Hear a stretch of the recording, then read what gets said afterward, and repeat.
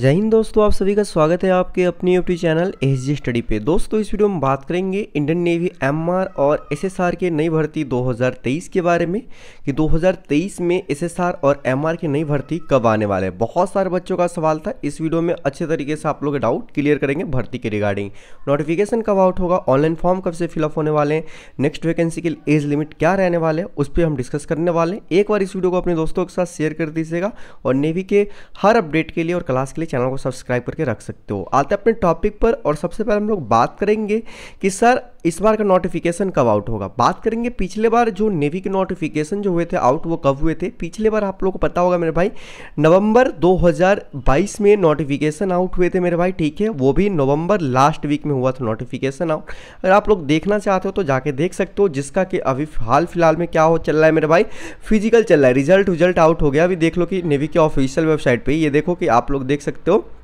Stage two का admit card आया मतलब कि फ़िज़िकल चल रहा है एग्ज़ाम एग्ज़ाम सब कुछ हो गया। अब इनका जो है फाइनल मेरिट आने वाला है। और इनको फाइनल मेरिट जो देने, देना है ना मेरे भाई, वो देना है April last April first week में ही देना था। लेकिन अप्रैल तो अभी चल रहा है फ़िज़िकल तो अप्रैल लास्ट तक ये पूरा क्लियर कर देंगे।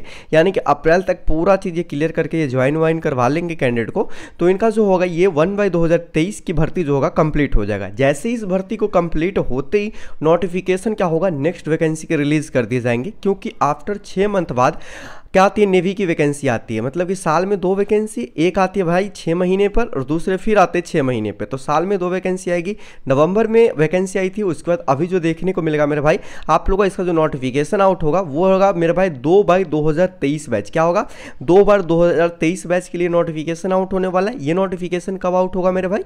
वो होगा मई लास्ट वीक में होगा। क्या होगा मेरे भाई? मई लास्ट वीक में एकदम श्योर हो जाओ कि आप लोग का नोटिफिकेशन आप लोग को देखने को मिल जाएगा। नोटिफिकेशन क्लियर हो चुके तो बात करते कि फॉर्म कब से आप लोग का मतलब कि फिलअप होगा, ठीक है? उससे पहले छोटी सी जानकारी आप लोग को दूँगा, वो चीज़ देखिए आप लोग।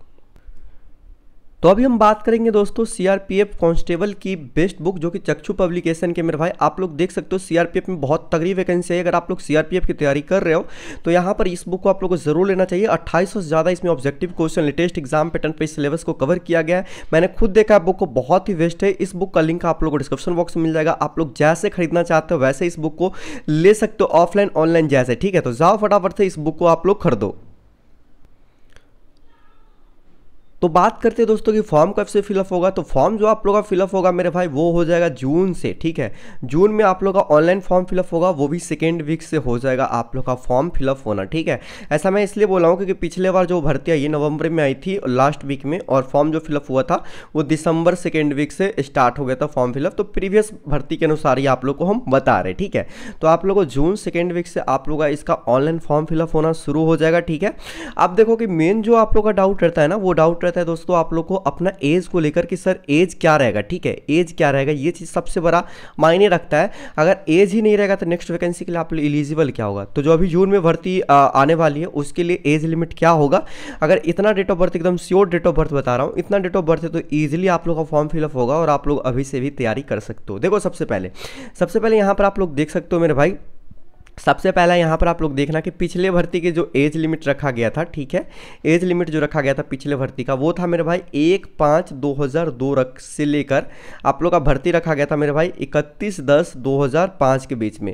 अब इसमें छः महीना बढ़ा दो, ठीक है? छः महीना जैसी बढ़ाओगे, ये हो जाएगा नेक्स्ट वैकेंसी के लिए एज लिमिट हो जाएगा। क्या हो जाएगा? नेक्स्ट वैकेंसी के लिए एज लिमिट हो जाएगा।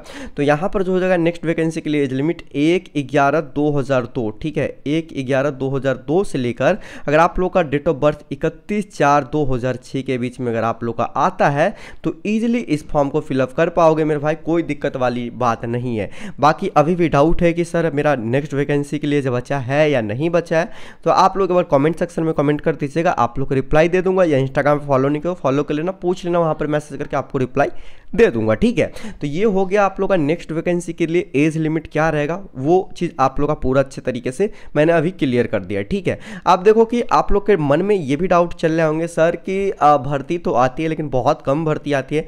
क्या नेक्स्ट वैकेंसी में भर्ती बढ़ेगी या कमेगी, सर? तो वो डिपेंड करता है मेरे भाई, नेवी पे, नेवी कितना वैकेंसी निकाल रही है? हो सकता है कि इंक्रीज भी हो जाए, हो सकता है तो भर्ती डिक्रीज भी हो जाए, ठीक है? जहाँ तक देखोगे तो दो तीन साल से भर्ती को क्या किया जा रहा है? भर्ती में जो ही पोस्ट निकाली जा रही है, वो पोस्ट में डिक्रीजिंग ही चल रहा है, जबकि इंक्रीजिंग नहीं चल रहा। हो सकता है कि इस बार क्या करें ने भी कहीं चार सौ एम के लिए पोस्ट निकाल दे। हो सकता है कहीं, क्योंकि सौ आया मेरे भाई, उससे पहले अढ़ाई सौ आया था, उससे पहले तीन सौ आया था। तो ऐसे करके तीन सौ, अढ़ाई सौ, एक सौ पर आ चुकी है। अब देखो नेक्स्ट वैकेंसी में एक सौ रहता है, या चार सौ पोस्ट रहता है, ये कहना मुश्किल है। जहाँ तक मुझे उम्मीद है कि भर्ती में इंक्रीजिंग देखने को मिलेगा, क्योंकि आप लोगों को पता है मेरे भाई, अभी 2024 में इलेक्शन है पीएम वाला आप लोगों को पता है। तो ये भर्तियाँ रेल के देने वाले हैं, क्योंकि अभी आप लोगों को पता है कि अभी बहुत सारी चीज़ की भर्ती आ रही सीआरपीएफ की एक लाख तीस वैकेंसी तो बहुत सारे भर्ती आप लोगों को देखने को मिल रहे हैं ना तो इसकी भी भर्तियाँ में इंक्रीजिंग आप लोगों को देखने को मिलेंगे।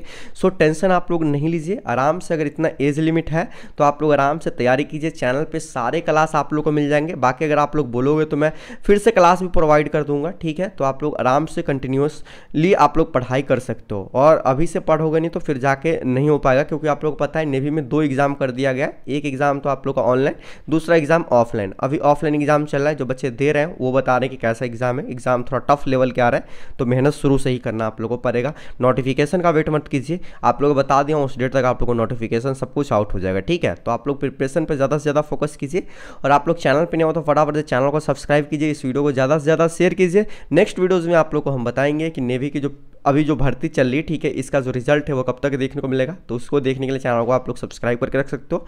इस वीडियो को शेयर कीजिए। बाकी मिलते हैं दोस्तों, एक और न्यू वीडियो में। टेलीग्राम को ज़रूर ज्वाइन कीजिएगा। हर अपडेट नोटिफिकेशन स्टडी मटेरियल के लिए टेलीग्राम का लिंक मैंने डिस्क्रिप्शन बॉक्स में दिया हूँ सारे क्लास का पीडीएफ आप लोग वहाँ पर फ्री में देखने को मिल जाएँगे। तब तक के लिए दोस्तों, जय हिंद, वंदे मातरम।